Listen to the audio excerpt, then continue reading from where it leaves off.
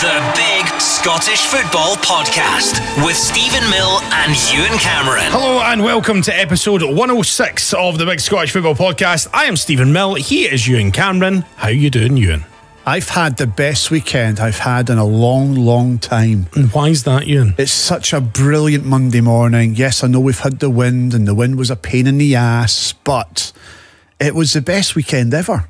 I The best really weekend was. ever. Ever. Ever. Because that's, that's quite the statement. It Ewen. was Because we know the sort of weekends you've had in hotel rooms in Dubai. Correct. You, you're aware of all that. Yeah. But in regards to when it comes to football and the pain that I've been going through over the last number of months has been horrific. The stick that I've had to put up with on Twitter, on Facebook, in a train, walking through Waverley, going into Edinburgh, coming into Glasgow. Even when I was in Dundee last week, people in the hotel in Dundee laughing at me, Yeah. giving me stick. I was, I, I, I, Hello to all you brilliant people, by the way. I'd, I'd had enough of it. We Had really a- appreciate you. well, well, now up you. Up every single one of you. Well, that's fine. I mean- because today's a day where I have the last laugh. I think that's totally fine. Yeah. Like, you, if you can dish it out, you have to take it as well. Well, I'm, so I, am taking it, and I've been taking Yeah. Mm. it for a number of months. But here we are today.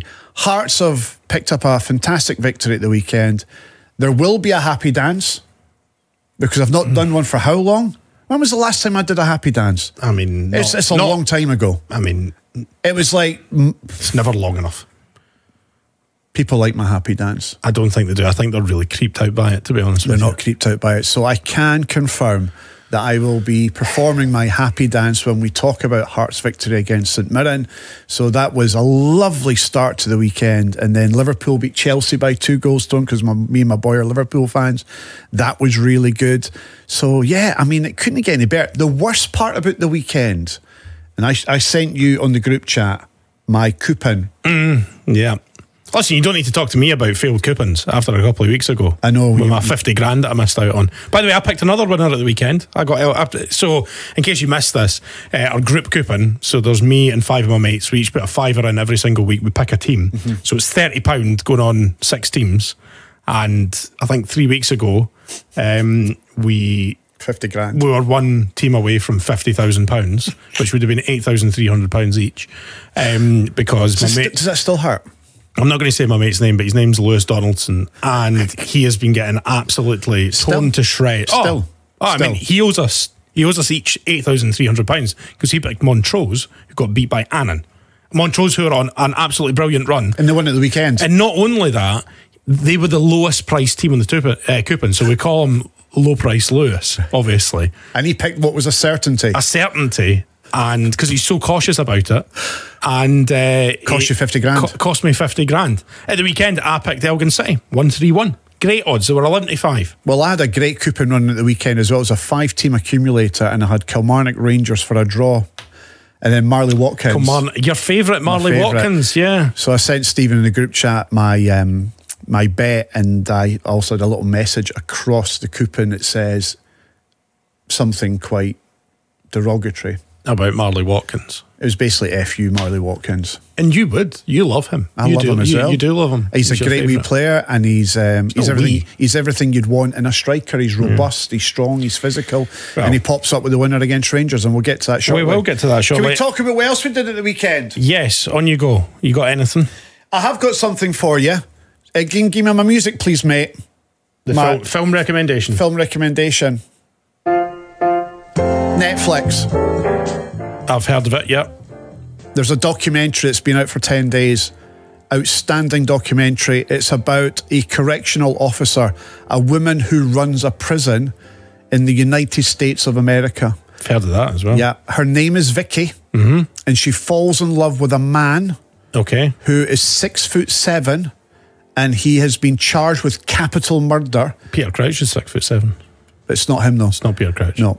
So, um, and she falls in love with this guy who is up for a capital murder charge, looking at the death penalty. Mm-hmm. Yeah. And she falls in love with him. Okay. And this is a Is documentary. this not quite common?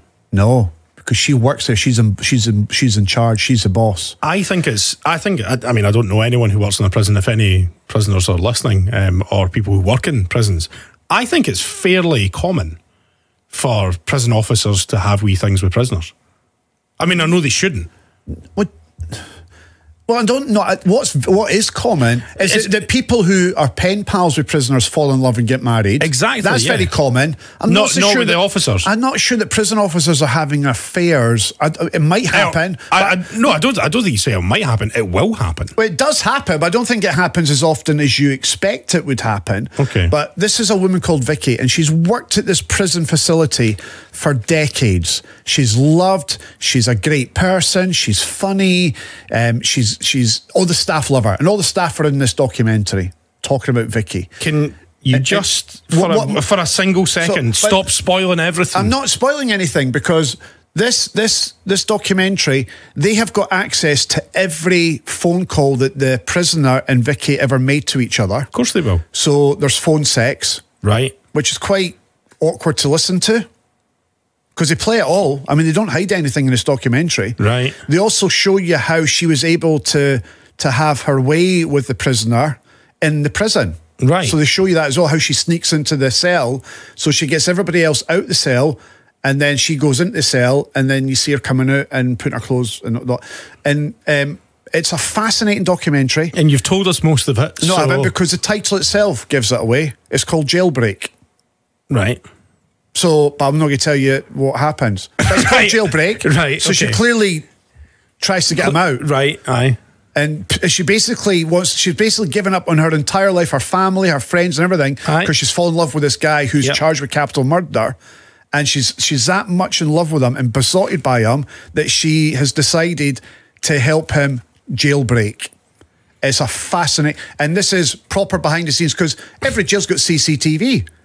So it, it will do. and yeah. you see her take him into the car, and it's amazing. So it's called Jailbreak. She falls in love with a prisoner who's up for a capital murder charge. It's uh, a brilliant watch, very much one for the adults. Um, it over- sounds like it. Yeah. Yep. And not, um, not a kid's and show. Not one of yous, not you, not anybody. Don't Google it, don't research it, just go and watch it. You'll never guess in a million years what happens at the end. Nobody will guess it because it, it, it, it shocked me. Right. Absolutely shocked me. Okay, but again, uh, I've pulled you up about this before. You have now given away that there's a shocking ending. Well, isn't, isn't most TV shows and movies a shocking ending? Watch No. it. It's called Jailbreak. I think it's called Jailbreak Love Rat. Right. Hold Oh, on, let me just let me just Let's check. not involve the animals again after your chimp loving a couple of weeks ago. well, That that's isn't that, that's a common phrase, isn't it? that all got a wee bit weird. oh no, it's not called Jailbreak Love Rat. What What is Oh that? no, it's Love on the Run. Love on the run. Jailbreak Love on the Run. Love on the That's the name of it. Where did I get Love Rat for? So that's the name of it. Go and watch it. Honestly, it's really good. into that. Really Uh, good. uh, right. Okay. Let- Netflix. Ne- uh, let's get to some of your feedback from last week. Paul, shouting haggis supper at the telly is getting me funny looks from the Wayne. so this was, you were trying to guess what I got for the chippy last week. and I was like, I'll tell you at the end of the show. Uh, and then, to be fair, I only remembered because our producer Scott shouted in my ear saying, You've not told everyone what your supper is yet. And I literally did it as I was about to end the show. So, I think uh, I watched it back. I think I named everything apart from a Scotch pie and a haggis. So to be fair, one of my mates was like, I thought it was going to be a steak pie supper because again, I hadn't said that, and I was like, you know, that's quite a good shout as well. Steak pie supper. I've never had a good steak pie from a chippy. They're not the best. I don't think steak not- pies should be generally deep fried, but I don't like steak pies, and steak pies at chippy always come out quite damp. aye, You want a crispy, crispy, crispy uh, pastry, but when it's in a chippy, it To be fair, my haggis supper was a wee bit soggy.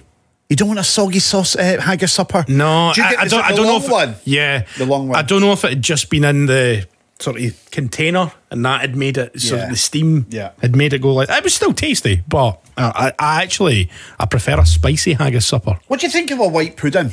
Love a white pudding supper. See, I, Love I white can, pudding. I can take it or leave it when it comes to a white pudding. like I wouldn't I wouldn't get a black pudding supper from the chippy because I think they go dry. They do go very dry. So you don't I, like sauce. I, I don't. I don't want a black pudding supper from a chippy. I would have black pudding, but white pudding is tremendous. so is it a white pudding or a haggis supper is the best? What is it?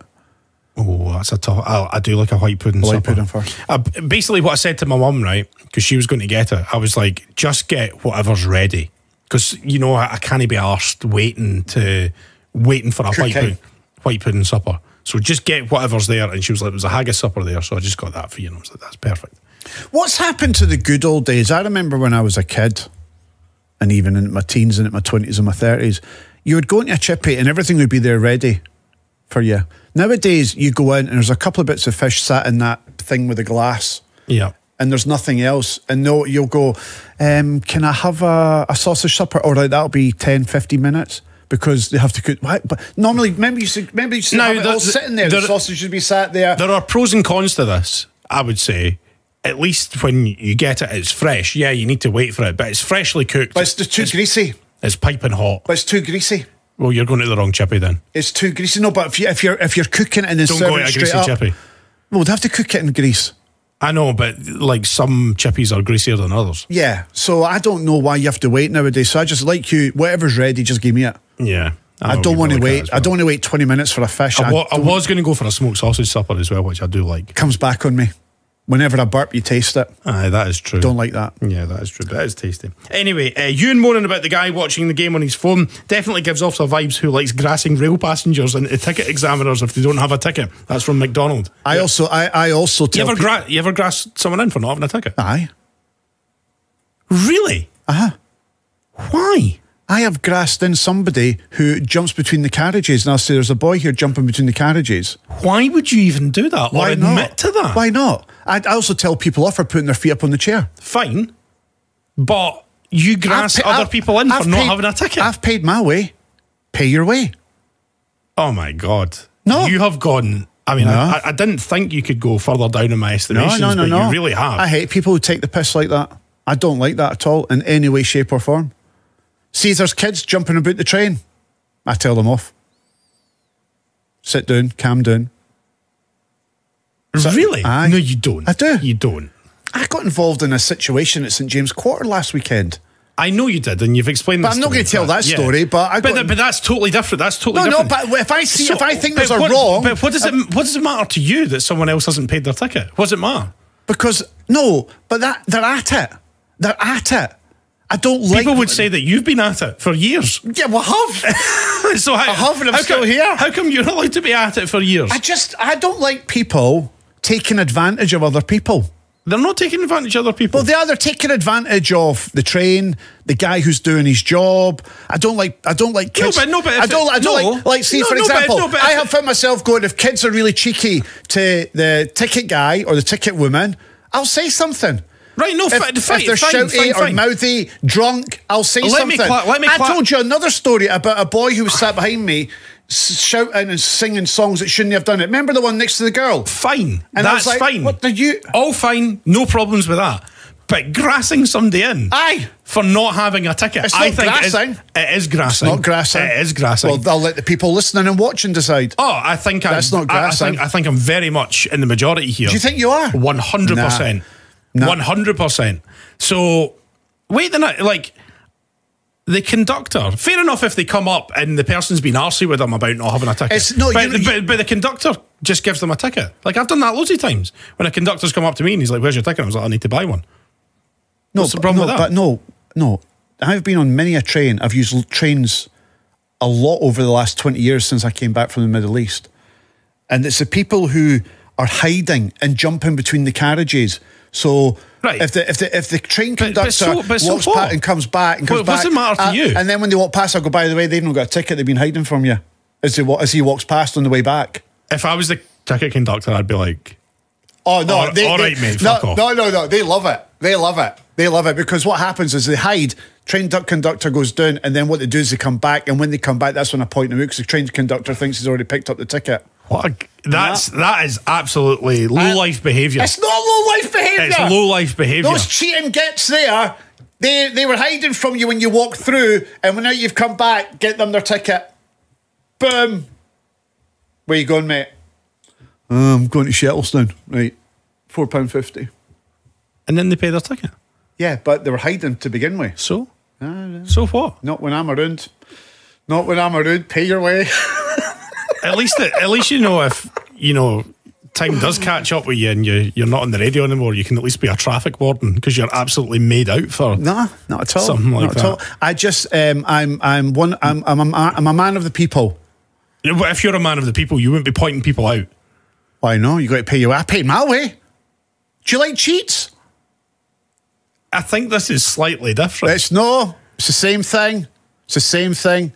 It's like your wife having an affair. You don't make excuses for that. You're comparing not paying for a ticket on a ScotRail service to your wife having an affair. I don't think so, Ewen. I don't think so. You'd want me to tell you, and I'd want you to tell me if my wife was having an affair with somebody. I, as I've, ju- as I've just quite expect clear, you as- tell me. As I've just quite clearly outlined. would you tell me? There's levels to this. No, no, no, no. There's No, would you to tell this. me? If your wife was having an If affair, you yeah, what my yeah. wife's, well, say my wife was having an affair with Gary Spence. Right, okay. Now that's a really awkward position to be in. Yeah. Or if Kat was having an affair with me, Right. would you tell my wife if Kat was having an affair with me? I don't know. I See? don't know. But you would. I don't know if you would, though. I don't know if you would. I certainly wouldn't. Well, okay, would you? But, but again, this is completely different from not paying for a ticket on a ScotRail train. it's cheating. It's n- You're cheating the Come on. system. many would argue. You're cheating the system. many would argue that the rail system has been cheating us for years. I don't disagree with that. The price hike that's went up recently is a Yes. pain in the arse. Yes. A return from Polmont to Edinburgh, £11.30. That's fucking scandalous. So if I'm paying £11.30, you're fucking paying £11.30 because I'm not So going to. we should just drag everyone down and then they make more money, yeah? I'm not. Uh, see, what I'm saying is. Drag everyone down to I'm their level. No, you're saying there's levels to cheating. You're either are cheating or you're not a cheater. There's no levels to cheating. Cheating is cheating. Cheating is cheating. That's the line. That's that's what this podcast should be entitled. Cheating is cheating. We'll move and if on. you're trying to dodge an air, a, tra- a, a train An fare, airfare. a, a trade fare, Good luck with that. then you're cheating. If you're if you're hiding, if you're having an a, if, if if his missus was having an affair with me, I mean, I'm not going to tell him, but if somebody knew about it, you would expect that person to tell you. That's that's what I'm getting at. You don't you don't protect the cheater. Colin says, when Ewen passes, When you passes, can you release the unedited audio of overrated, underrated? all right, That's the only way Ewen will have to die for that to happen. totally. Um, Christopher says, Well done on the quiz win, Steven. Thank you very much. Natural order has been restored. You've done your family and your fans proud. Thank you very much, Chris. Who's that? Uh, Christopher. P.S. Did anyone else think that Ewen said about stuff coming out of him after he died is when someone checked his hard drive, confirming he was indeed a Rangers fan? Ryan You will you will see on my hard drive. I, don't, will- I, I don't. No, Ewen, don't. No, no, just you, don't. You just will don't. see on my hard drive many pictures of me and the former Rangers owner, David Murray. You will also find audio and video of myself and David Murray. You will find lots of video and audio of me and Walter Smith and Steven Gerrard. So I'm not hiding anything. I do have lots of um, audio pictures from my time in radio with um, lots of Rangers people over the years. Even David Edgar, who runs the, is it Heart and Hand? Yeah. So I've got pictures of him and audio of him. Right. Okay. Well, we don't need to go through all the pictures that you've got on your hard drive. That's fine. uh, Ryan says, "Can I just say, as a Blackpool fan, Critchley at Hearts, ha ha ha ha ha ha ha ha ha ha ha ha ha ha ha ha ha. Brilliant. Be warned, if Lawrence Shankland, for example, is on a hat trick, he won't get it because he'll be subbed. Three five two, boring football. Players played in the wrong position. So yeah, good luck. You can come back to that in a minute. he played a 4 2 4 at the weekend. Uh, KGM says, "Is Ewen Cameron the bear out of both selector? I can't get the vision out of my head." Why is he saying that? Don't know. Um, bear out of he's, both selector? he's watching the football and munching on nuts in the bath. Oh, yeah. What's wrong with that? Uh, Pablo says 18 minutes of carry out discussion never has being bored made more dull. Thank you, Pablo. Could try and write in sentences next week, that'd be great. David says, since Steven was talking about how to make fried eggs and Ewen can't make rice, maybe they should watch Chef's Table Noodles on Netflix.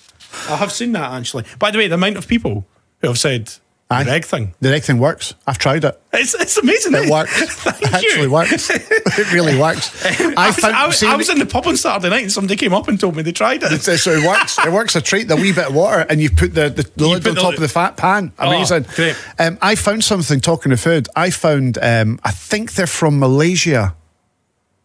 Uh, yum yum noodles. Yum yum noodles. Okay. I found this thing called Yum Yum Noodles. Now I don't think your Tesco's and all that are selling it.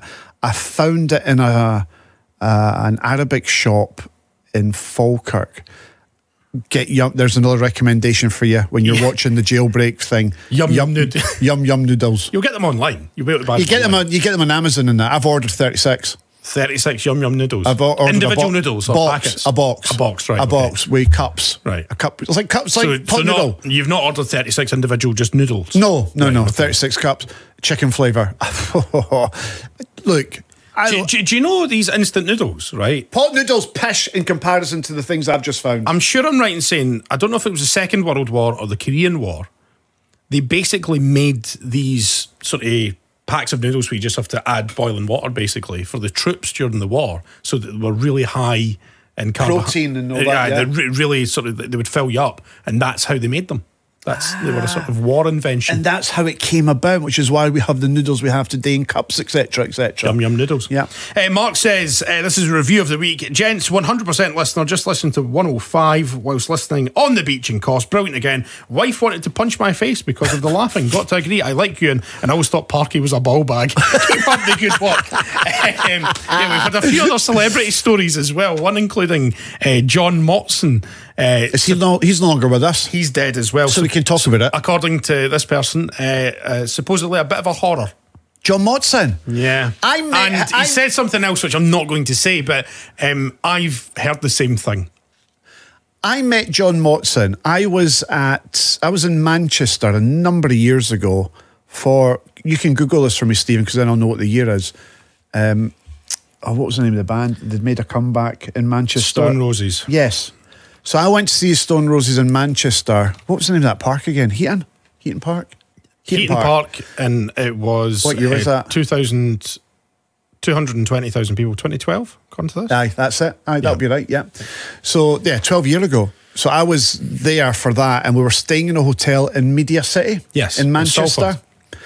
And you do see quite a few familiar faces in Well, 'cause there's, a, there's a lot of BBC stuff comes out there, yeah. And I was sat in the bar with a couple of pals, and, and Kat was there, who I worked with on the breakfast show. And John Motson was stood at the end of the bar. And he had, he'd clearly been eating something before he was stood at the end of the bar. And he was a wee bit worse for wear. But you could kind of have an idea of what he'd been eating because he had gravy stains all the way down his shirt.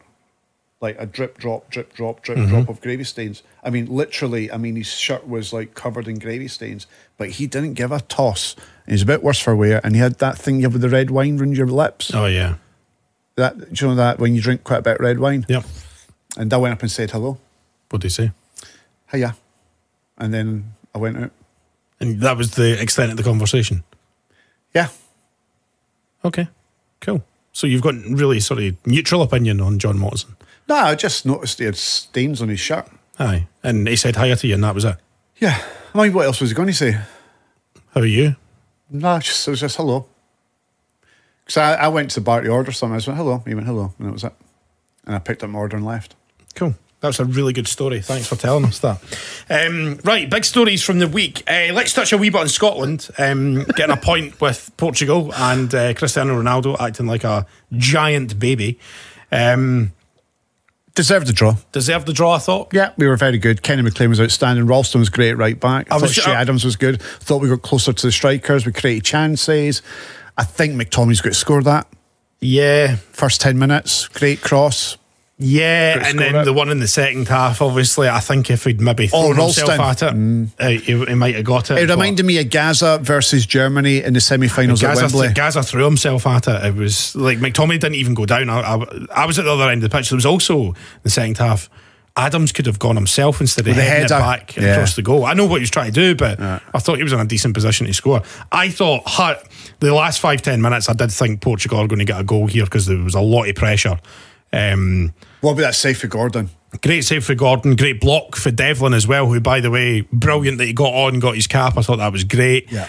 Um, yeah, I mean, it's it's quite the turnaround. If somebody had said to you, Ewen Cameron, three months ago, that you'd be no longer Clarke out, I think that you wouldn't have believed them. No, and I can't believe myself. But again, I'm a I'm a stand up guy, and I call it as I see it, and I can see that we are on the right track. So you, you so you agree with Clarke? You think we're on the right track? Hundred track? percent, we're playing decent football and we're creating chances against some of the biggest nations on the planet. So for me, that's good enough. And we're losing by the odd goal, and we picked up a point the other night there. We're not getting hammered. We're not getting obliterated. We're not getting overplayed. So I can see progress. So he gets my support. And what I would also point out as well, and you know this as well, there's a lot of players missing for that team who would probably Correct. be regular starters. Aaron Hickey, uh, Nathan Patterson, Kieran Tierney, Lewis Ferguson probably would be a starter nowadays. Uh, John McGinn. Um, so there was a lot of players missing the other night. And, Yeah. and just by the way, another special word for Kenny McLean. I thought he was outstanding. He was brilliant. He's come in to fill that gap that and- Callum McGregor's left behind. He's And by the way, I know job. John Souttar got the man in the match, and he he did have a great game. Um, but I thought Kenny McLean was absolutely outstanding. Kenny McLean, I thought Ralston again solid. I thought he was great in Portugal for the, the game in Lisbon. He was outstanding the other night there at Hampden. Look, I know he's not getting a game at Celtic, but when he puts on that Scotland jersey, he gives 100%. And I thought he was superb. And that's why I'm, I'm, I'm picking at players like Ralston because they've got a hard time of it recently. And he didn't have the best of Euros, but I mean, nobody had the best of Euros. But he's playing in a position he knows and he's a 100% committed defender. He gives it his all, and I thought he was really, really good. So for me, Anthony Ralston was outstanding. Kenny McLean, John Souttar. Um, I thought the whole team were great. Yeah. Billy Gilmour does what he does, which is brilliant. I was also delighted to see that Billy Gilmour and Scott McTominay started in Napoli's win against um, Cagliari yesterday by a goal to nil away from home. They're top of the league. They played the full 90 minutes. as Played well. the full 90 minutes, so well done. Um, elsewhere, uh, obviously, Hearts appointed their new manager. We'll get to that in a second. Obviously, Inverness look like they're about to go into administration either today or tomorrow. Duncan Sad. Ferguson saying um, after the game on Saturday, after they beat Annan, that he expects to leave as well. Um, so Sad, sad, sad. hopefully they can get themselves out of that. We had a Inverness podcaster Stevie on earlier on this season, and uh, yeah, not looking great. Afraid. Um, and Ryan Kent has had his contract terminated by Jose Mourinho and Fenerbahce. Rumours are circulating. He might turn up at Ibrox. I mean, you'll have to wait till January, presumably. I know, but he's a free agent. Yeah, The rumours are circulating. Could it happen? I don't know. Who else is going to want him? A championship team, probably. I would imagine. It'll be interesting to see, but the rumours are circulating already. Would would Rangers fans want him back? I've got no. Well, I mean, they'd, they'd take him. I would imagine at the moment. yeah, I think that. Yeah, Uh, right, let's get on to the weekend's football then. And uh, we'll start with the big game on Saturday, which was Celtic versus Aberdeen, first versus second. What a game it was at Parkhead. Really glad it was on the telly. Anyway, so uh, Celtic obviously started really well. Uh, a couple of quick fire goals, Hatate and Kyogo. And uh, I think at that point we were doing the big Saturday football show and we'd said, you know, I mean, that's it. It's, it's, a question of how much, how Yeah. many this is going to be Yeah. at this stage. However, a couple of halftime subs by Jimmy Thelin and they paid off almost immediately. Sokler scores in the 50th minute, Shinnie equalises in the 60th minute, and then obviously we'll get to the VAR WTF stuff in just a wee second. Um, but if somebody had said to any Aberdeen fan before kick-off on Saturday, you'll get a draw, they'd have absolutely snapped your entire arm off for it. we were in shock. Nobody expected that. I don't even think the most die-hard of Aberdeen fans would have expected that, especially at half time. When you're 2 0 down, we were talking about damage limitation for, for Aberdeen in that second half, not to get beat too heavily so it doesn't affect their confidence looking forward to their next big games against Dundee United and Rangers. But to come back the way they did, and they had a brilliant first 50 minutes to that second half. Like we all know that Celtic created a number of chances. They had all the possession. Mitov had a great game, defended heroically. But they deserved their draw. I know Celtic fans will go, how can they deserve the draw when they were battered? And they were battered at st- in stages in that game. But when you look at the players that Aberdeen have got, you look at the players that Celtic have got, you look at the budgets that both squads are playing with, the money that Celtic have, have spent on players in the last number of years. Celtic, the, their accounts came out this morning, which make great reading if you're a Celtic fan. Obviously, a, a really well run business. Celtic have spent more than £100 million pounds on players in the last four years. on players On players. that have come into Celtic. Yeah. 100 million. yes. Well, that's that's why Aberdeen's draw is even is is, is, is, it makes it even better. It was I, I thought Aberdeen were brilliant, and what I liked about Aberdeen was their bravery. They did um, some analysis on Sportscene, and I thought Neil McCann was very good at his analysis. Aberdeen, at every opportunity they got the ball, it was to go forward, and there were four players in attack.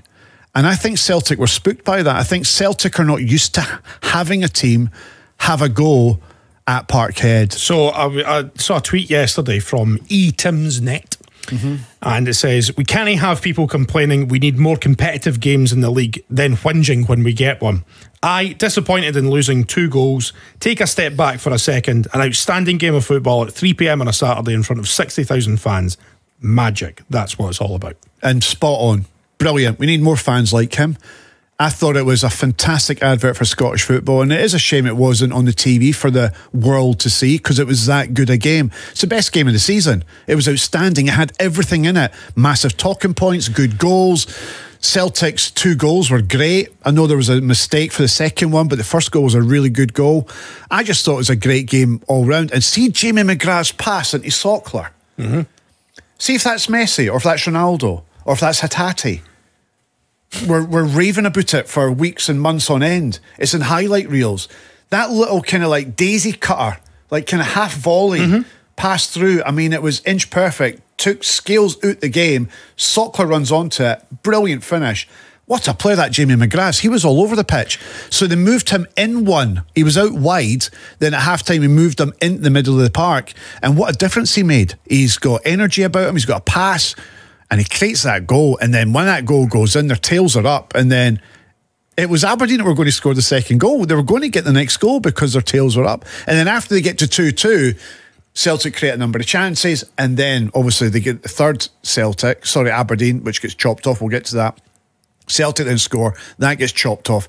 I just loved it. I thought it was a fantastic game of football. Yeah, and where does this leave us then? Because obviously there was a lot of chat from yourself and probably me included as well about Aberdeen having an easy start to the season, or not an easy start to the season, easier start to the season mm-hmm. uh, than some other teams, but they've gone to the hardest fixture. Oh, totally. That they, that they could have they could have had, and totally. they've gone and got a point.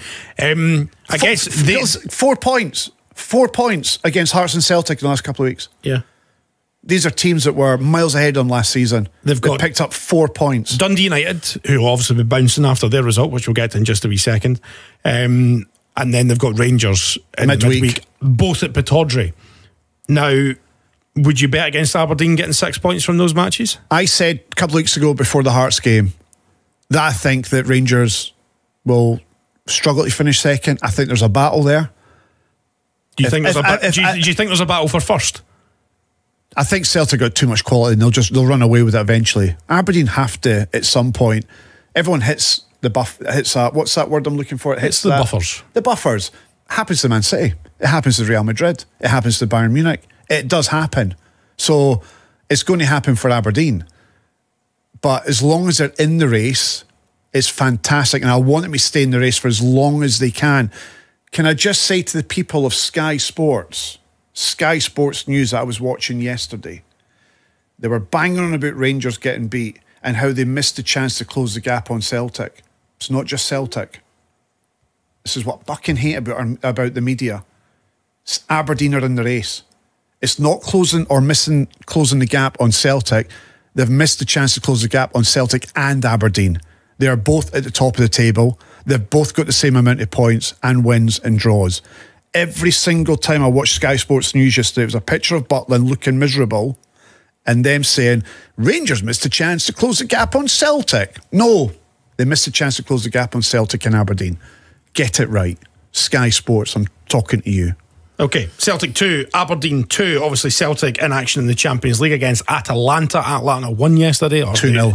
Last I checked, anyway. They, they were good. I watched, I watched the highlights. Um, it's the early kick-off on Wednesday. Um, going to be a tough, tough evening, I suspect. Well, Atalanta have already lost three games this season, so they've been up and down. Recently, they've been good, and they got a really good draw against Arsenal in, the, in game day one. And they're also the Europa Champions League holders as well. Yeah listen, if, if, if Brendan Rodgers doesn't tweak it and goes in with the same attitude that he did with Borussia Dortmund, they're going to lose by four. They'll lose by four. They, they, he can't go in and not offer protection to Trusty and to Scales. I don't know if Vickers will be back. Will he be back? Do we know? Don't think so. But Trusty looks spooked against Sokler at the weekend. And listen, the boy might have potential and he might have a big future at Celtic in the years to come, but don't hang him out to dry the way that you did against Borussia Dortmund. If you do that, you're going to get pumped again. And the thing is, though, Celtic can't afford to get pumped again. So you lose to Dortmund, seven. You then struggle to beat Ross County. When I say struggle, they, they deserve to win, but it was last minute mm-hmm. when they won it. And then they draw with Aberdeen. They kind of now go into this game and get pumped again because Celtic fans are going, hold on, what's going on here? So he needs to tweak it and give protection to that back four. Okay, then uh, we'll get to the Rangers game uh, in just a wee bit, obviously, because that was yesterday. But we'll stick with the Saturday matches for now, and let's move on to Tynecastle, oh. where it was Hearts four, St Mirren nil. So comfortable, comfortable victory. Mm-hmm. You've already mentioned you're pleased that he basically went 4 4 2, 4 2 4. 4 2 4. Neil Critchley. Um, amazing. it was just amazing. I th- the, a, a, the, a, perfect start. The performance was outstanding. That first goal, Shankland's little flick into Vargas, amazing. Penrice down the left, he's my pal, and everyone will think, "Are oh, you just saying that because you're biased because you know his mum and you you know the boy?" The boy was outstanding down the left side. I, I was just going to say Blair Spittle. I was amazing. going to ask you about Blair Spittle. Is he looks to becoming oh. a very very important player for Hearts because he's getting played in the position he should be played in. Naismith clueless. That's why he's out the door because he's clueless. Spittle was outstanding. Is Spittle a possible Scotland player? I think he's playing really well. I don't see why. Goals are good, creates chances. So, can I just um, remove my top and uh, perform my happy dance? Do you have to remove your top? I have to remove my top. Why do you have to remove your top? What, um, what you got on underneath it? Can we go at the wide shot, please? Thank you. I've just got my, my wee hearts top on. See that? Look at that. Right, just go on. My anniversary Hearts jersey. So um, just throw that over there. Let me move the chair out the way. It's been such a long time. I mean, it's months since I've done a happy you, dance. You, you probably have to do some stretching, actually. Do you think I need to do a stretch? Well, if you've not done it in so long. Because yeah. oh, I got cramped the other week there doing you the quiz. You did get cramped doing the quiz, when, when which was down, bizarre. When I bent down because, um, oh, did you hear that creak? I did hear that, yeah. That was my knee. That yeah. was my knee creaking, so I'm happy you said do some stretches. That's why you do your stretches and your warm ups. Yeah. Okay, there we go. Just stretching the calves and the thighs. Is this what your wife sees? yeah. And hears. right, um, get my music ready, mate. In Gorgie and Tynecastle Park. There's a winning purple team and makes it smart. Come on, Steve. One of the others in footballing. There's no other team to compare. Sing it! H-E-A-R-T-S If you can't spell it, then here's what it says. Hearts, hearts, glorious hearts. It's down at Tynecastle they bide. Thank you. Thank you. And I'll be doing another happy dance next Monday when we the Hibs. yeah, it's the Edinburgh Derby on Sunday as well. Um, yeah, let's move on to Hibs, actually. I mean, oh, what a shambles. Oh. They were leading 2 1. I until, feel, I feel until, sorry for David Gray. Until the 92nd minute. I actually feel sorry for David Gray because I don't think they're playing that badly. He's just been really unlucky. And Dundee how many United, late goals have they lost? Uh, loads, uh, and then obviously two very very late goals for Dundee United means that they get all three points. Jim Goodwin running on the pitch, falling over. Um, United up to fourth, only a point behind Rangers now, and uh, Hibs are now bottom of the table on goal difference. Big game. That's a huge game on Sunday. The bottom two. Now, if I'd said to you at the start of the season, when we get to the first Edinburgh Derby, there'll be the two bottom clubs, you'd have laughed at me. So yep. we've got the bottom two going up against each other on Sunday at Easter Road. What a game that is. I've been invited along. Have you? I might go. All right. But um, I feel, I do, I genuinely do feel sorry for David Gray. How, um, unfit am fit. I that I'm out of breath like this for doing a wee happy dance? It's just as well. Hearts have barely won a game this season. well, that's why I'm so unfit because I've not been dancing that much. Yeah, that's true. But I do feel sorry for David Gray because I've watched a bit of Hibs this season and they have played well and they've played well in quite a lot of the games. Joe Newell. What is he thinking? Again, we're going to get to that in yeah. VAR, WTF, but what is he fucking thinking with those challenges? For two yellows. They're cruising at 2 1. They're also, winning the game. And then once you get that send off in 85th minute, Dundee United's tails are up. Absolutely faulty bits, and also it means that Joe Newell's going to be missing for Sunday as well now, who I think is a Huge. He's he's an experienced player. Club They could be doing him. Yeah, exactly. Very silly. Uh, right, so Dundee United uh, going great guns, uh, fourth in the table as I mentioned, only a point behind Rangers now. Can I Uh, just say what's this is what Scottish football's all about. I think we've been um, lucky this season. There's been a lot of really good games. There's been a lot of late goals. There's been a lot of drama. But if you get the chance to watch back the third goal for Dundee United, not Jim Goodwin, but okay, the fans running at the pitch, Yeah. but there's a camera angle behind the player who takes the shot that loops into the goal. Yeah. And it's the Dundee United fans behind the goal. Just watch those kids' faces. There's loads of kids stood there. Just watch those kids' faces as that goal goes in. It's a joy to behold. That's what football's all about. Mums and dads and kids are all in that end and they are gone absolutely berserk. I kept rewinding it and watching it. It was such a there- joy. There's another one that's obviously taken for the Hibs end as well. That's really good, and you can see like you know Oh, it's, it's great. I mean, there's no- brilliant. I mean, an absolutely incredible feeling scoring two goals in stoppage time Oh, and winning. I mean, just- limbs, limbs galore. Absolutely. Uh, Dundee getting a win on Saturday, a much needed win against Motherwell. Uh, Lyle Cameron with the only goal of the game. So Dundee up to sixth. Uh, they had had a wee bit of wobble lately, and I think they used the international break as a wee bit of a reset because I was saying this in the Big Saturday Football Show. Um, prior to Saturday, um, I think only Aberdeen and Celtic had scored more goals than Dundee. Yeah. Um, in the league. However, they'd conceded loads of goals as well. So um, it was obviously that's where the problem was. So clean sheet on Saturday for Tony Docherty and Dundee up to sixth in the table. Motherwell remain fifth. Well, but um, see four Motherwell points ahead. See Motherwell before the international break, they were on a really good run. So that international break came at the wrong time for them. And Kettlewell alluded to that in his after-match interview. Aye, but I mean, I always think that's a rubbish excuse because, like, you know, the international break's coming. There's nothing you can do about it. no, So- true. However, he'll be kicking himself. If they'd won that game, they're level in points with Rangers. Yeah. They're level. Think about that. They're level in points with Rangers had they won that game, and they were actually favourites to win it as well. So they missed an opportunity there. St Johnstone beating Ross County by three goals to nil. Uh, a couple of goals. Uh, Kirk as well. So Simo Valakari had to watch for the stands problems with his work permit and stuff like that as well. So hopefully that's resolved soon uh, from a St Johnstone point of view. And that means uh, they are up to ninth in the table, level on points with Ross County now. I would still expect probably both St Johnstone and Ross County to be down around there come the Yeah. end of the season. Uh, but really disappointing for County. Two men sent off as well, um, which is obviously far from ideal. See the boy Sidibe. Mm-hmm. He's better than St Johnstone. You think? he shouldn't be. No, again, no disrespect to St Johnstone, but that boy's a handful. He he'll he'll find himself at a better club sooner rather than later. I think he's that good. Okay, let's move on to the Rangers game. Uh, yesterday, so it finished uh, Kilmarnock 1, Rangers nil. Marley Watkins with an 87th minute winner.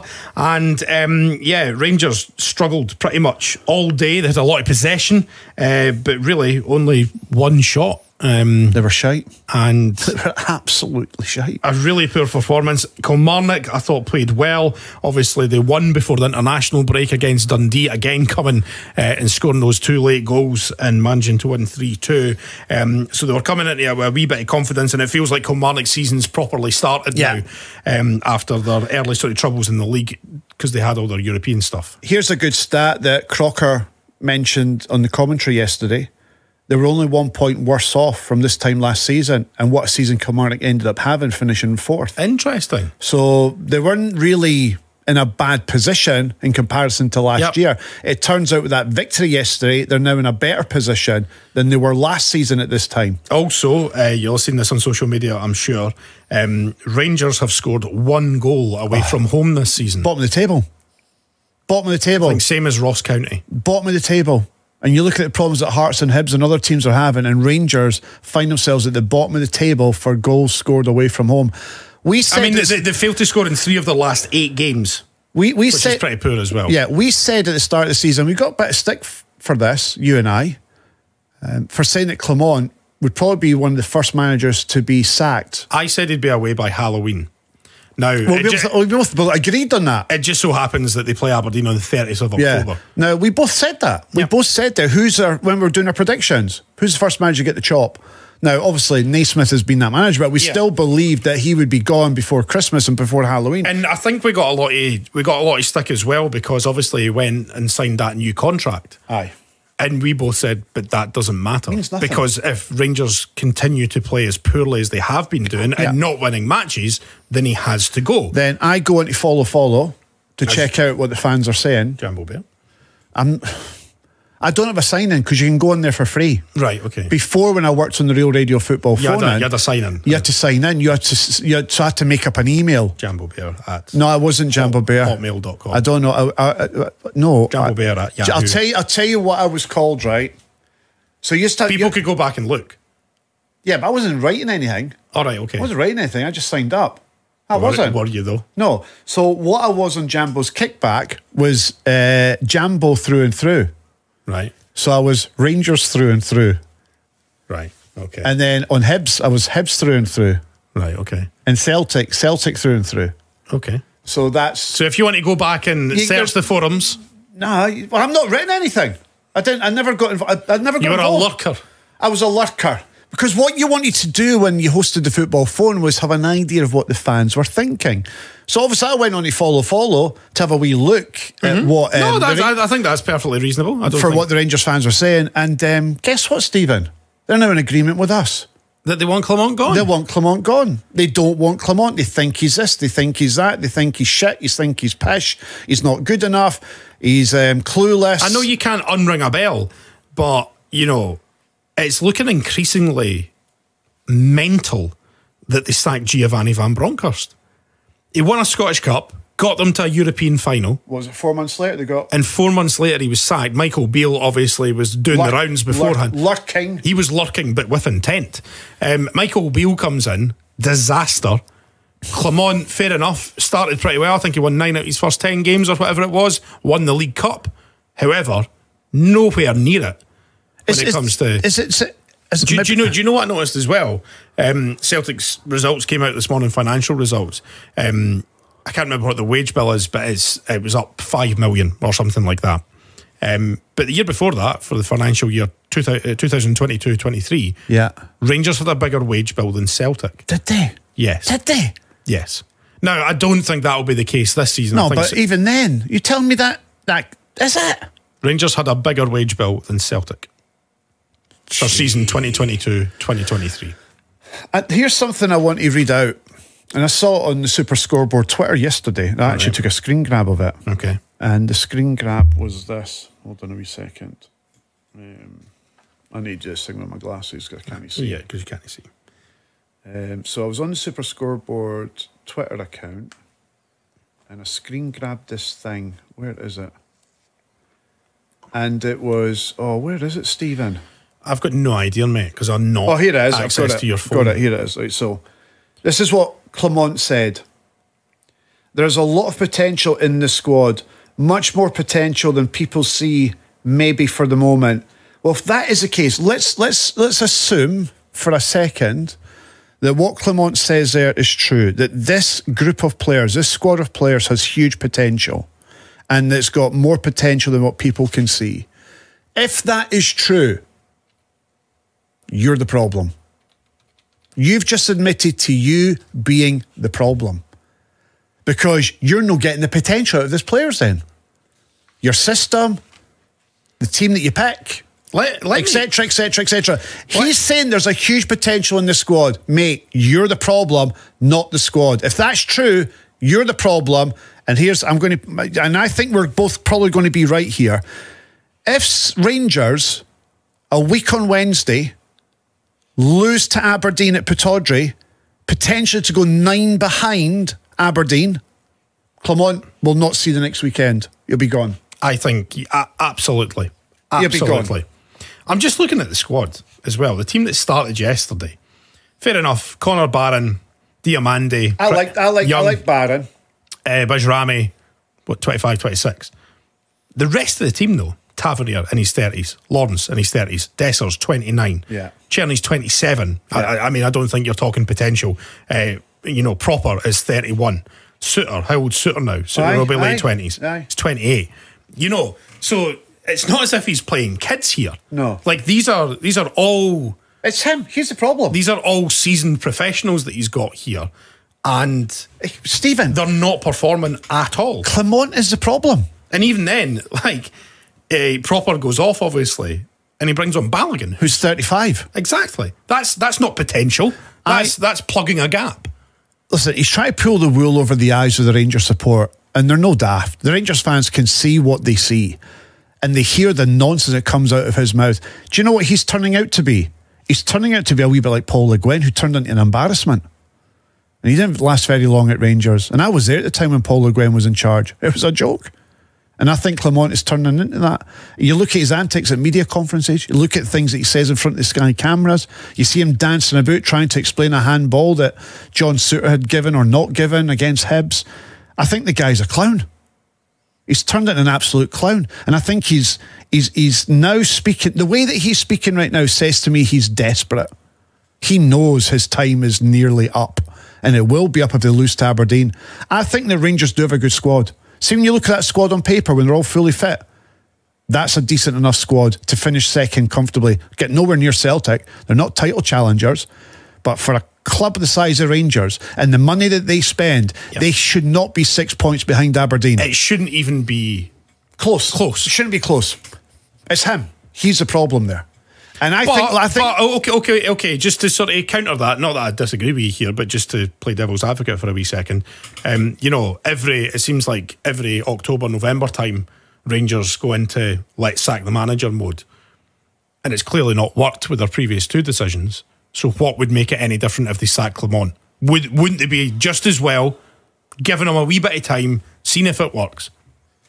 Because that seems to be the chat from the. But, th- but, this is not just this season. No, I get no, I get, I get that. Like I'm just playing devil's advocate yeah. here. I actually agree with you, but I'm just putting a counter argument. No, I, it's a good point. They, have sacked, they've sacked Michael Beale, who was you know disaster. They sacked Van Bronckhorst, which you know I thought was a bit harsh, especially given he was a club legend. Oh no, you well. said at the time you said it was harsh. I thought it was the wrong decision, um, but the, to be fair, let, us let, not rewrite history here. There was a lot of pressure on Van Bronckhorst from the fans as well. The fans were not happy with Van Bronckhorst because he was so far behind Celtic. And the fans were happy to see him go. Exactly. The so, majority were happy so, to see him so go. So let's not rewrite history here. Um, so there was a lot of pressure on Van Bronckhorst, but every single October, November time, Rangers sacked their manager, and it's not worked. The last now going to be three because I, I think Clement's done. I, I, I can't see him turning the turning this round. Even if they beat Aberdeen at Pittodrie, he's not going to survive the season. I just don't see it. Well, precisely. Yeah, exactly. Right. So, so he's so, done. So my, so, my point. So he's, he's, going to go eventually. But so we get rid of him now and try and save your season because they, and they, who then? See, I I, I think that see like say Clement was Stephen Naismith, and Stephen Naismith was saying the things that he's saying as a Hearts manager. Mm-hmm. You want him gone. You want him gone. Yeah, it's, I'm, it's, I'm, not, it's embarrassing. I'm actually not personally disagreeing with you. I don't know. I, I do agree with I don't, you. He, he, he, thinks we're all idiots. All of us watching the football. You think he's treating the Rangers fans like idiots? Aye, because we can all see it. That crap that I just read out to you. What are you talking about? Now, let's, as I said, if what you say is true and that this squad is actually a good squad of players, then you're the problem.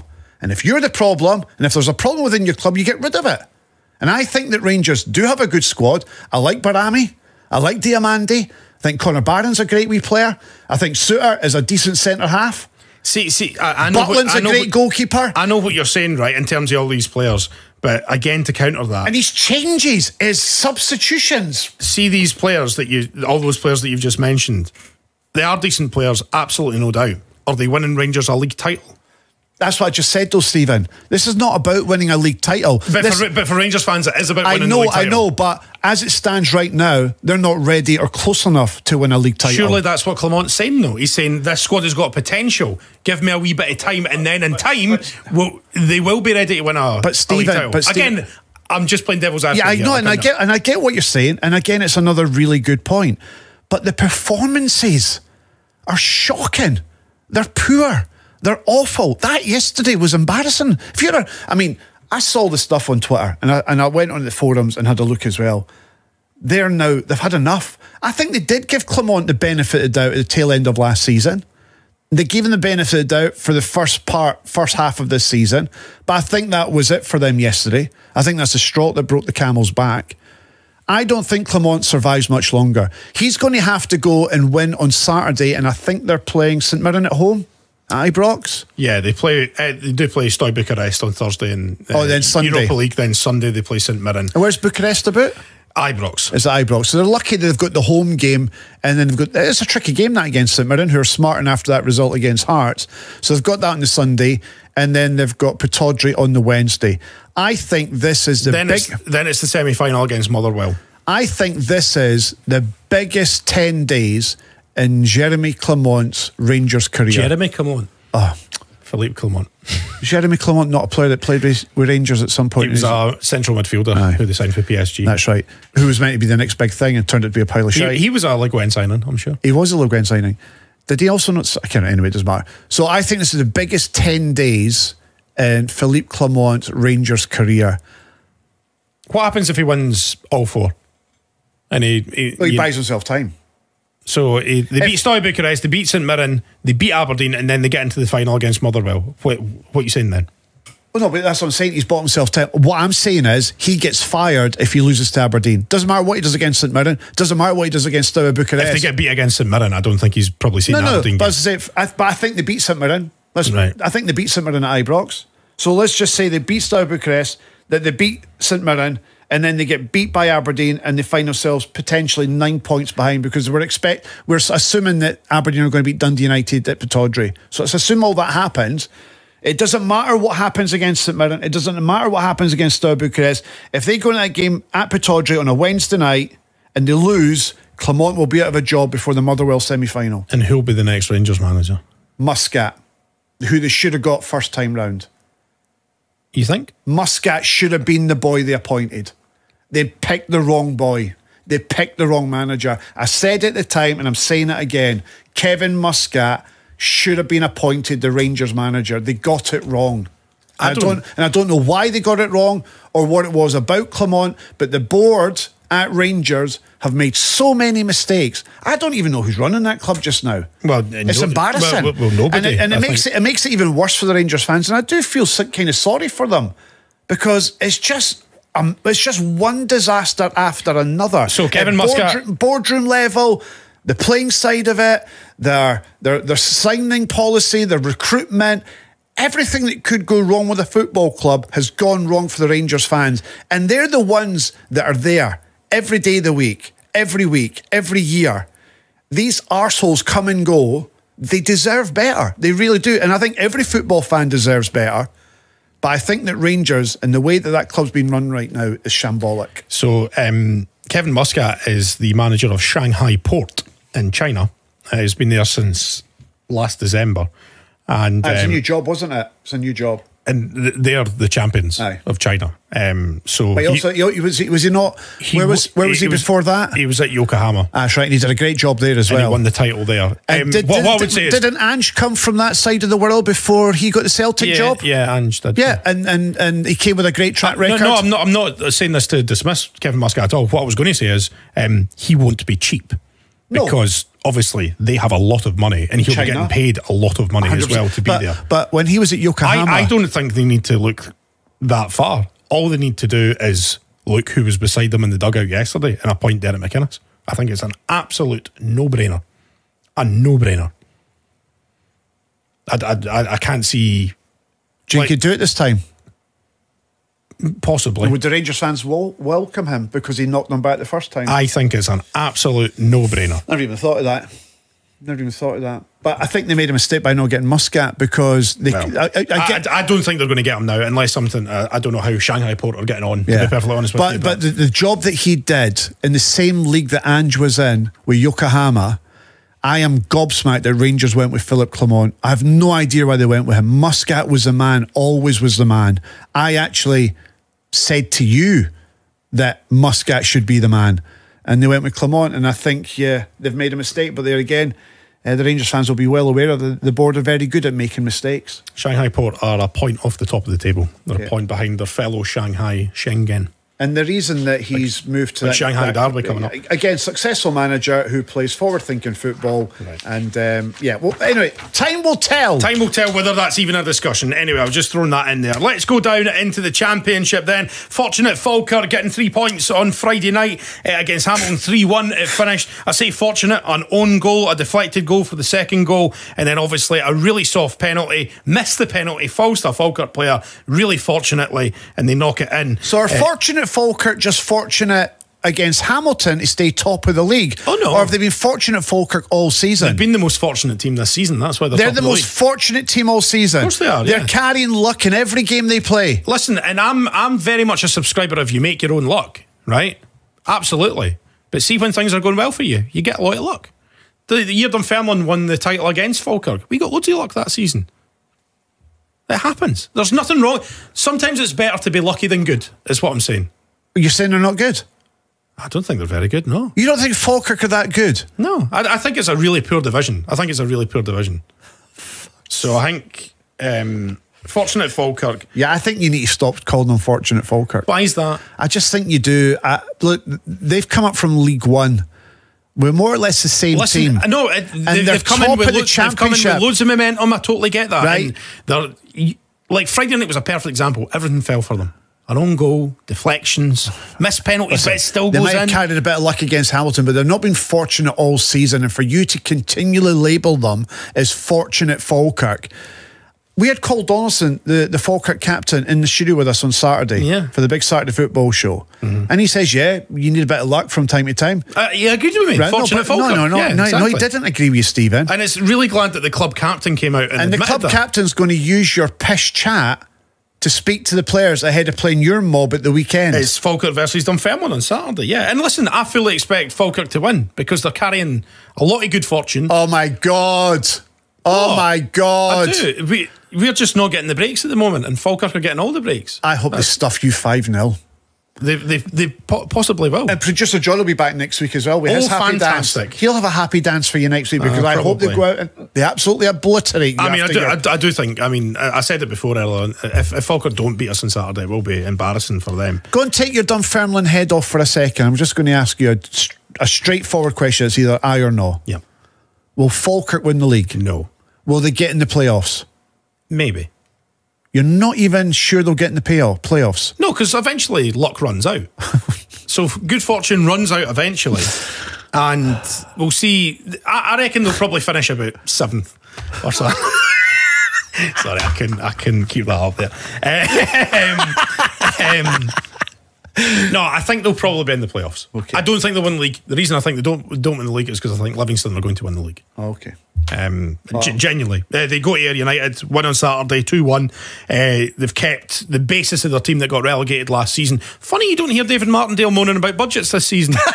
Because he moaned quite, he moaned quite a lot about it last year, and then it's not really been mentioned this season at all about No. budgets. Um, and I think that's why because Livingston been have, pretty quiet this year. have a very healthy one, which is fine. Um, and he's obviously spent it very well. Uh, so, yeah, winning against Ayr United on Saturday, Livingston uh, closing the gap at the top to Fortunate Falkirk. Uh, Dunfermline, no, no, finally keeping a clean sheet. Woo! Um, against Morton and, um, yeah, as I mentioned, Falkirk on Saturday.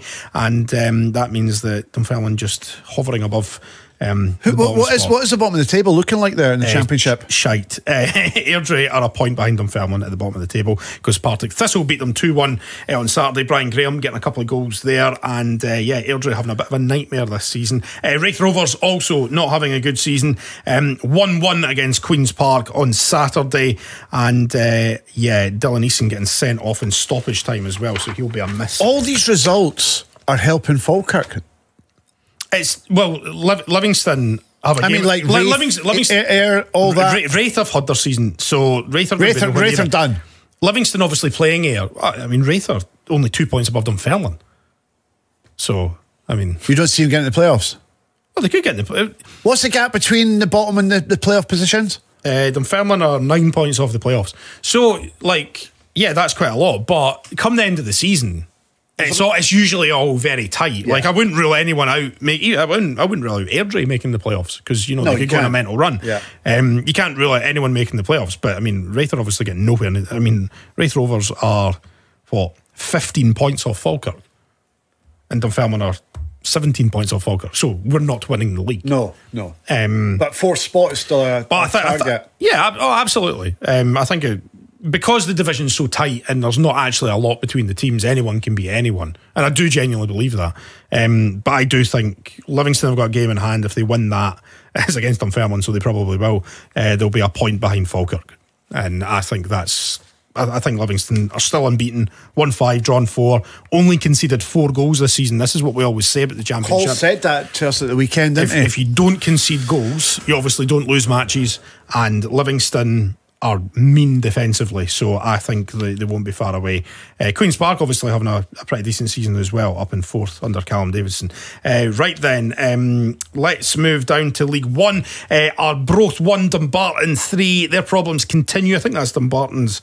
Um, I think it's their first one in the season, to be perfectly honest with you. Elsewhere, uh, Cove Rangers uh, beating Queen of the South by two goals to nil. Uh, Stenhousemuir losing to Alloa by a goal to nil. Inverness winning despite all their financial administration chat against Annan Athletic and Kelty Hearts uh, lost at home uh, to Montrose this season. And uh, I don't actually have the um, the League Two results, so I'm going to have to try and do them off memory. Right? League Two. I don't have the League Two results. They're not in my Did prep. sheet. producer Chris not give you them? No, I didn't give me them. So, producer Chris, what have you got against um, League Two? what you got against League Two, Chris? What's happening? Absolutely nothing. I apologise. No. right, you'll not be getting this gig again, mate. No, exactly. Uh, East Fife drew uh, at the weekend. Elgin City won. I knew that because I had them on my coupon. They won 3 1. Um, Bonnyrigg Rose won because we had them on our Saturday predictor thing.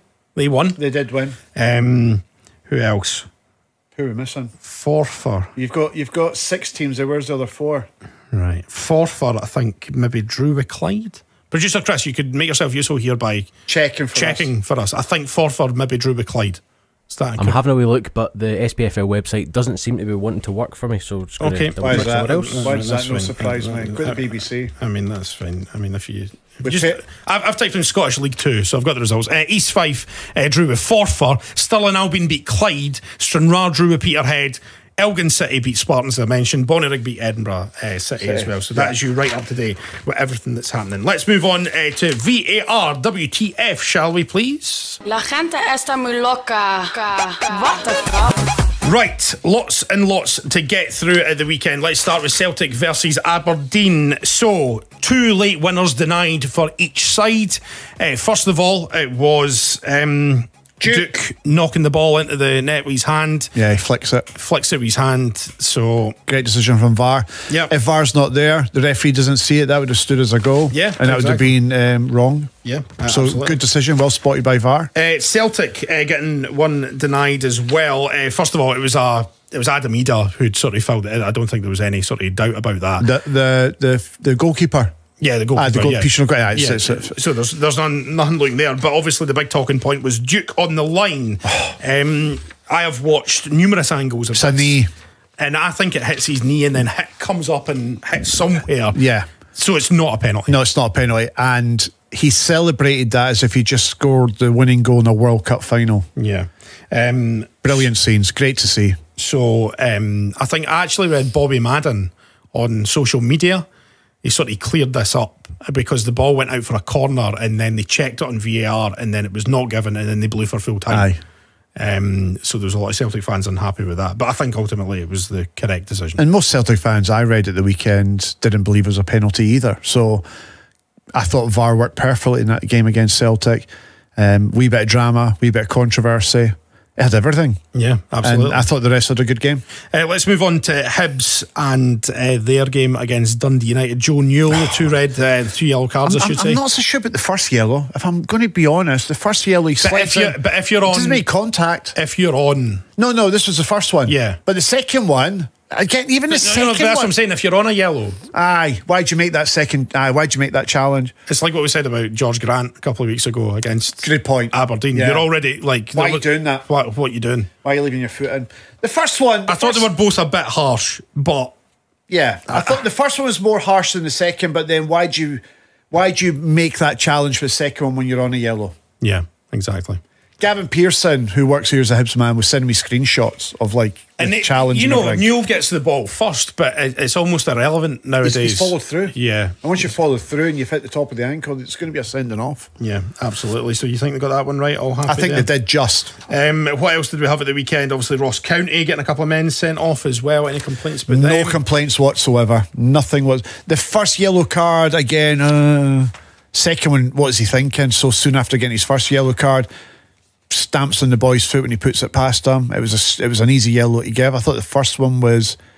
He didn't need to give it, but he did. So yeah, silly second challenge gets him sent off. Anything else you'd like to go through? Are you happy with that? Happy to leave it Again, I thought the rest more or less had a good game across the board. Okay, okay. All good. We'll leave it there then. And this is the Big Scottish Football Podcast. The Big Scottish Football Podcast Told you. with Steven Mill and Ewen Cameron. Right, overrated, underrated. Um, Oh, each week- love this. Each week, myself or Ewen brings something that is overrated or underrated. Uh, you can cast your vote. Um, last week, Ewen suggested that new Aberdeen boss Jimmy Thelin was overrated. No, no, no. No, I said, is he overrated? I never said he was. I asked, No, but is you, he? a- you asked the question: Is he overrated? Yeah, but you never said, I never said, and I'm not asking he was. I'm asking if he is. There's a difference between was and is. Uh, Liam says, think he's rated where he should be just now. Don't buy into the not played anyone yet uh, stuff either. This was obviously before Saturday. It went up to Dingwall and won, and they didn't even play that great there. So that's a sign of a good team. John saying uh, that cannot be decided until the season is over. So there's no point in having Well, this up to- discussion. but, he's been, but he's been talked about in great terms. That's why we're asking the question. Okay, so Twitter has spoken at Big Football Scot. Remember, if you want to follow us, have your say on anything in the podcast, you can leave your comments on YouTube as well. Um, can I have a drum roll, please, producer Chris? If you could find that, that'd be great. Fifty-nine point one percent disagreed that Jimmy Thelin was overrated. Disagreed. yes, exactly. Fanfare, please, producer Chris. Disagreed. Disagreed. Wins. Okay, so there we are. I've got one. when it comes to underrated, overrated, uh, producer Chris, Hello. you're going to have to use a beat machine for this, mate. Alrighty. So, where's the best way for me to go that way? That way.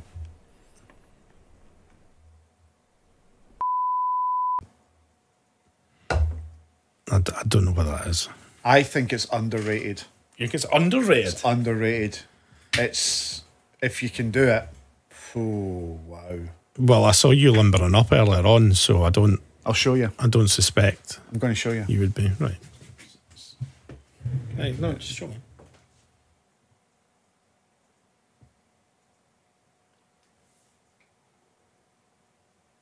I don't really know how. Yeah, it does. Ah, you can. You can. Yeah, fair enough. I'll Aye. take your word for it. Right. I mean, Yeah, tr- the weekend. that's underrated. You said That's underrated. right. Because I don't think many people know about that. You're thinking about it now, aren't you? How it's possible. Yeah. Anyway, fine. Make, make sure you bleep that out, producer Chris.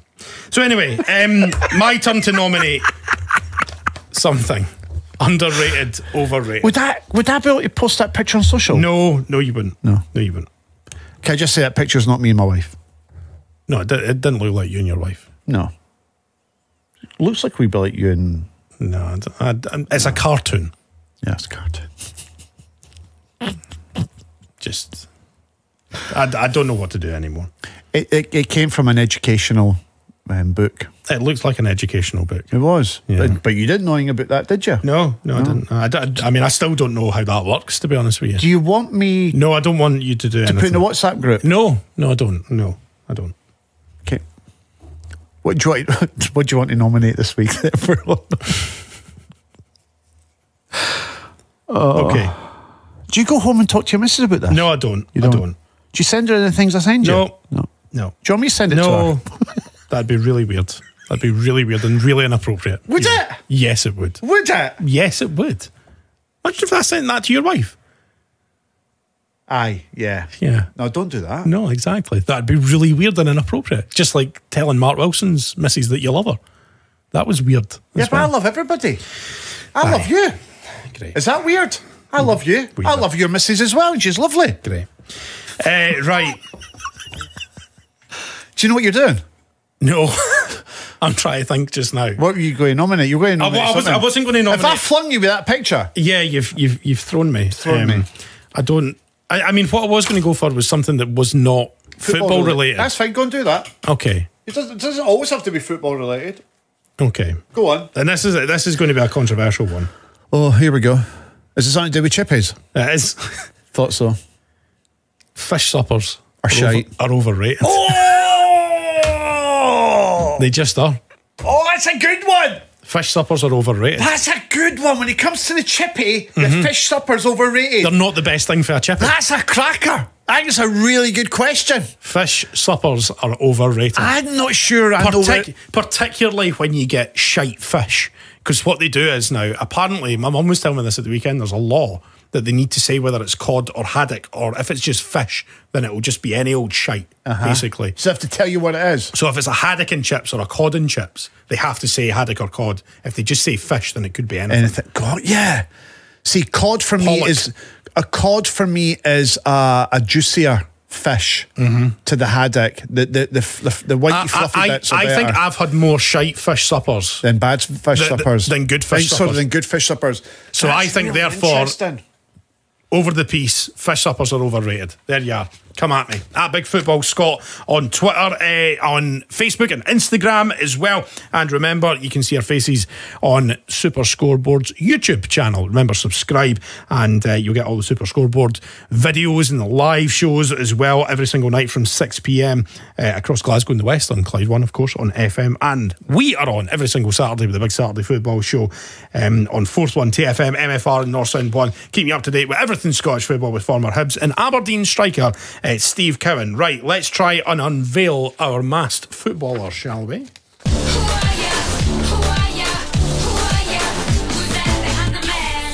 So, we now know that this player hasn't played for either Celtic or Rangers, but has been capped at international level for the Republic of Ireland. Yes, We know that now. I'm getting so many people messaging me about this. So uh, Mark says, I think the mass footballer might be Jamie McGrath. He plays for Ireland, has never played for Celtic or Rangers. Simon says, the mass footballer is Conor Sammon. He plays with Alloa, played with the Republic, and stays in Larbert, which is local to producer John. See if it's Conor Sammon on the basis of that. I'll be furious again. Like producer John just being extremely lazy. Um, Conor Sammon's a great shout. yeah, I mean, do we know? Do we know whether this player is still playing? Is that something we've asked? Um, have we? Uh, no, I don't think we have asked. Is Conor Sammon still playing? He, is, plays, isn't he plays he? with Alloa, yeah. I don't know if he still plays. Is, is that where we're going to go with this? I mean, I'm happy to go with that. Like, we can narrow it down. Like, do you play in the lower leagues in Scotland? I think Right, hold on a wee second. because I, I don't think it's Jamie McGrath. I don't think it's Jamie McGrath. Hold on a wee second. Somebody just sent me something here Right. Okay. Is it to do with what you were talking about and overrated, underrated? Oh it? no, somebody else has put forward. Uh, Mikey has put forward Conor Sammon as well. So there's another one who thinks Conor Sammon. So, do we go with are you still playing in the lower leagues in Scottish football? Because if it's a yes, then obviously that narrows it down. That does narrow it down. And then If it's a no, If it's a no, it means that they're playing in the Scottish Premiership or do we Retired. know? Or retired. Right. so what's the best way to get as much information? What's the best question to get as much information as we can? Um, mm, I don't know. Yeah. Um, so, do we do we believe that this person is still playing? Do you think? I think every- prob- I think probably. well, then I think we find that out, and I think what you do is you do what you've just said you're going to do. Then, Okay, right. The lower leagues. I'm ready for my question and a yes no answer, please. Is this player still playing in the lower leagues in Scotland, i.e., Championship through to League Two? Yes. Okay, right. Is it Conor Sammon? See if this, it is. see if this is Conor Sammon. Uh, producer John being the laziest person in the world.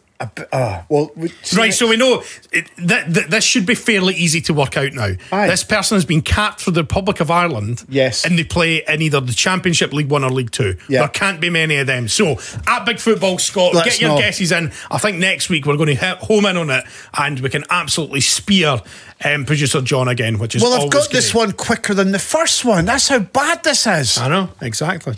We were expecting this to go on for like six months. It's fucking got two in the first three months of the season. I know, I know. Oh well. Uh, at Big Football Scot and uh, leave your comments on YouTube. Uh, right, we are just going to go straight for the quiz here. I think. Yes, so let's do it. It's time for our shootout quiz, everyone. So here we go. Let's have the theme tune, please.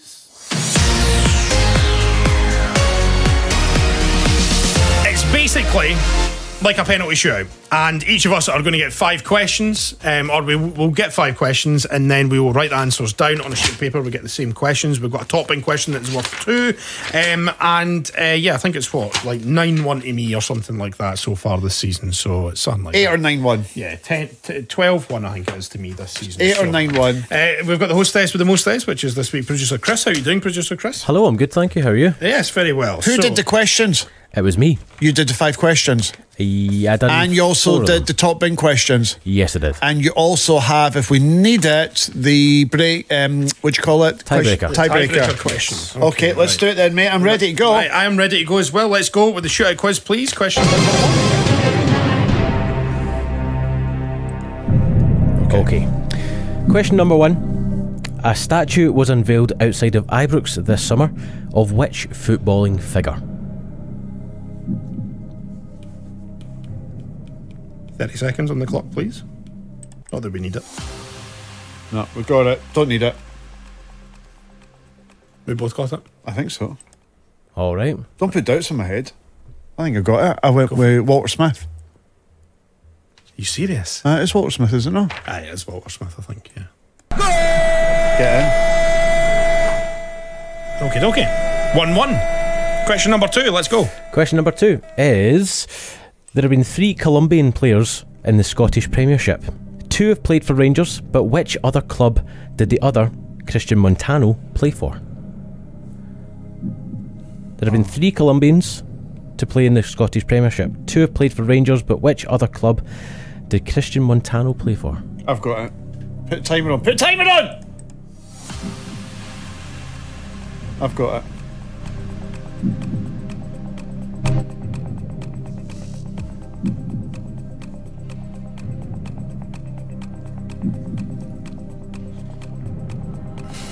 You struggling here? Yeah. Really? Hmm. Get in. I'm about to go 1 0 up here.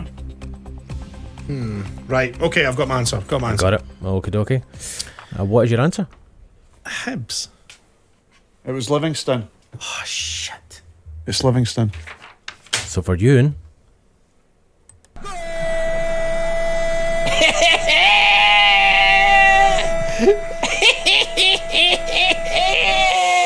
Ewen goes 2 1 in front then. Right. all right. Question number three. Go on. I am the tiger! I am the tiger! Former Wolves Leeds, Lech Poznan, and Queen's Park defender Barry Douglas is reportedly on trial with which Scottish Premiership side? Barry Douglas is on trial with a Premiership club He is. right now. He is. Reportedly, How have This I not heard was- about this? this I was like in the news. Douglas. He's a good player. over the weekend. Won't be Hearts. It can't. It, must, it has to be. Have you heard about this, Steven? Nope. I mean, as long as we're both struggling, so this is just pot luck, really. Fuck knows, man. I'm going to go with. I'm going to go with that. Have we both got an answer? Wait! Oh, wait! okay. Wait! Wait!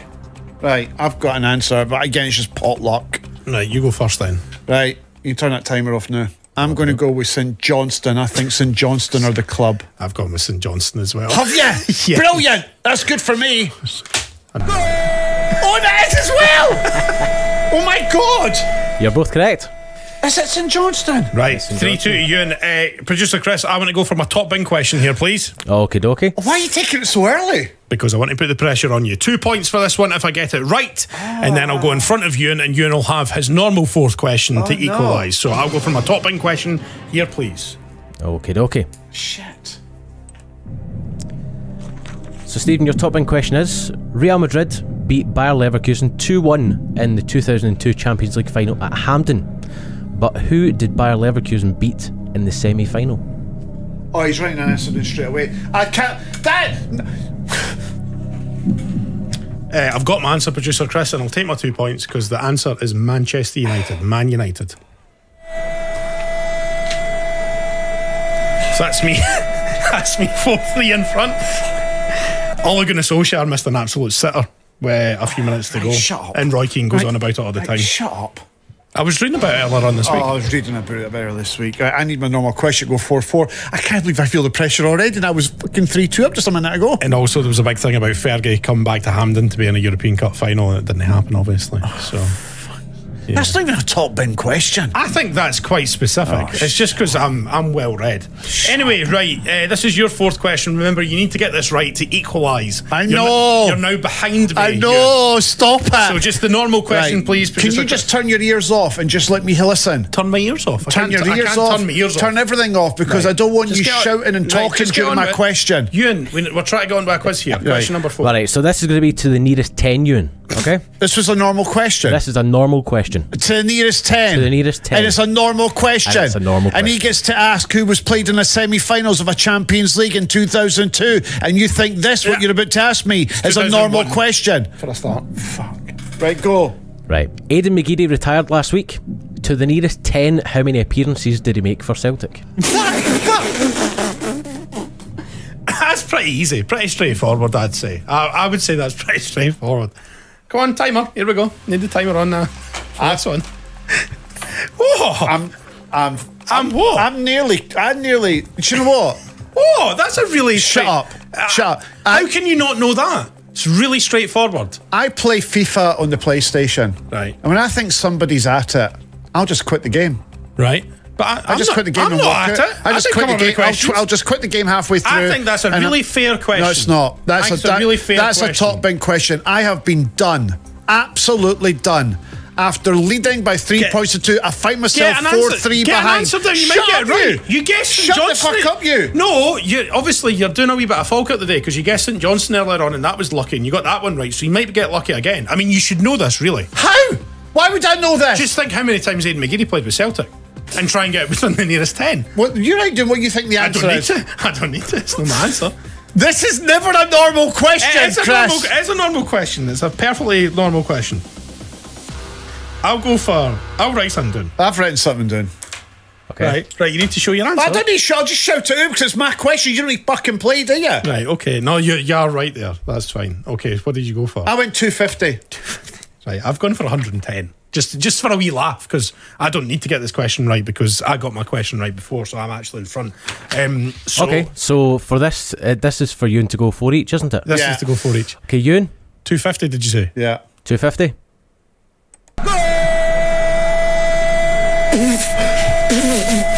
Aidan McGeady made 252 appearances for Celtic.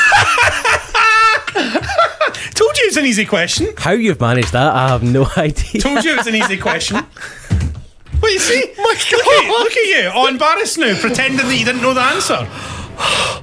Oh my god, what's going on? So it's all come down to the final question. Wait, can I just point out, for the first time ever, I've gone four out of four. Yeah. I've gone four out of four. yeah, you have. That's, that's that's really good. Oh my god. I mean, I liked all this sort of, oh, what a ridiculous question this is. Hey, Stupid just shut question. up. Shut and then you get it within two. Shut as if you didn't know anyway. I didn't. I was, I, I, as if you didn't know. I'd love to say I Very knew that. good. I'd love to say that I was knowledgeable and just play like I knew it. But I'm going to again because I'm an honest guy. That was me just having a guess. I nearly put 300. I thought, no, I'll just take 50 off that. And I get chewed out for nothing. I know exactly. Yeah, it's So, still a ap- ap- apologise to producer Chris. No, no. Apologise. No, because there's a, still a fucking Apologise to Chris. No, because I think that was a top bin question. Right, move on to question number five. I'm not going for my top. Ah, if I go top bin here, I win. Mm-hmm.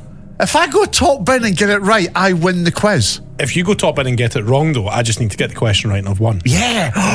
So you've Oh, got the a, drama. you've got a dilemma here, Ewen. The drama. If I go top bin, I win the quiz. If I get it wrong, you need to get the normal question right to win it. Yep. And if you lose it, it goes to a tie break. So in some ways, I'm getting two bites at the cherry. So I'm going to go top bin.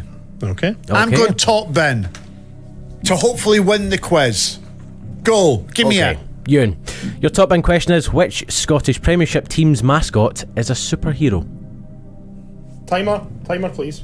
Timer, please. It's a superhero. Yeah. Which Scottish Premiership Premiership club has a mm. superhero as a mascot. Yes.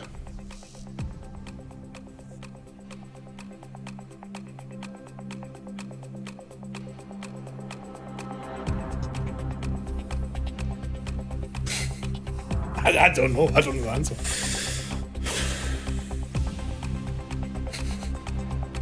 How long have I got? 40 Uh, about 40 seconds, yeah. Superhero. It's not Hearts, not Rangers, not Celtic. Who's Hibs? What's Hibs mascot? What's Hibs mascot? Bernard Hero. Hibs Hero. It's not Kilmarnock. It is. Come on, How long have I got? Got about 10 seconds. Well, I don't need to write it down. I just need to tell you. Yeah. Yeah, but you need to give me an answer. Come Yeah. on. Come on, Ewen. Ross County. The answer is St Johnson. The Super Sainty. Is it something like that? The Super Saint, yeah. Yeah. Is it St Johnstone? Is it? It's St Johnson. Yeah. So I was between those two as well. that means I've got a normal question to win the quiz. So thanks very much, Ewen. Thank you. Worst comes to the worst. We're going to a tie. No, don't. We might go to a tie break. Steven, I've we're not not got all my to a tie questions right today. Steven, Remember. I'm not going to a tie break. I'm going home. Right. That's okay. Well, I'm- give me my question I'm going home. All right, Steven, your normal question is Shaun Maloney currently manages which English League Oh, for One fuck's side? sake. The answer is uh, Wigan Athletic, Chris. Waiting out.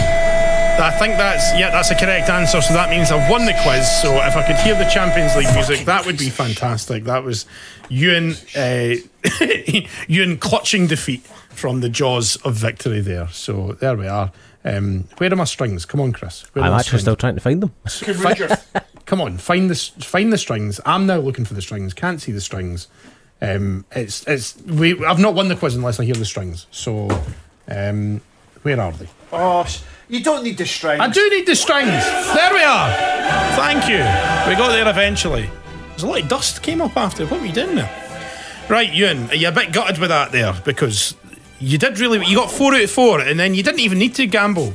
We would have been on a tie break at this stage. Hey, I know the answer, Wigan. And you, No, Wigan. but, no, but I know that's what I'm saying. But you would have, we would have been doing a tie break just now. But instead, you've actually lost the quiz. Is what's happened. Very good. No, you have lost the quiz. Where are you going? Why have you been a wanker? I'm not being a wanker. You are being a wanker. Right. See you later, Ewen. Nice doing a podcast with you. Bye. See you next week.